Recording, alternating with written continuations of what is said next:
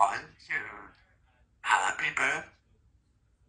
This might answer your question. 1. 2. Buckle My Shoe is a popular English language nursery rhyme and counting out rhyme of which there are early occurrences in the US and UK.